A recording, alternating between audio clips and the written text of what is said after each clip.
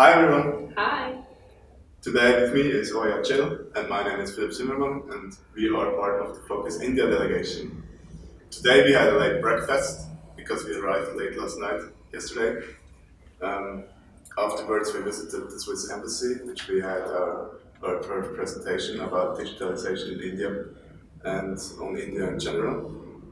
Afterwards we had an interesting uh, presentation at Blazers Institute which they presented how they themselves are um, organizing, are organized in India and how they are uh, affected by digitalization.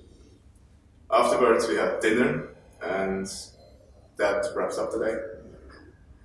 Um, my personal highlight of the first day was definitely the dinner because uh, I haven't had uh, really Indian food before except with the Focus India team. So um, it was really, really delicious and much more spicier than in Switzerland. So yeah, that's it. Okay, um, thank you very much for listening. Please click like and subscribe down here. Thank you very much and Thank you. bye. Bye.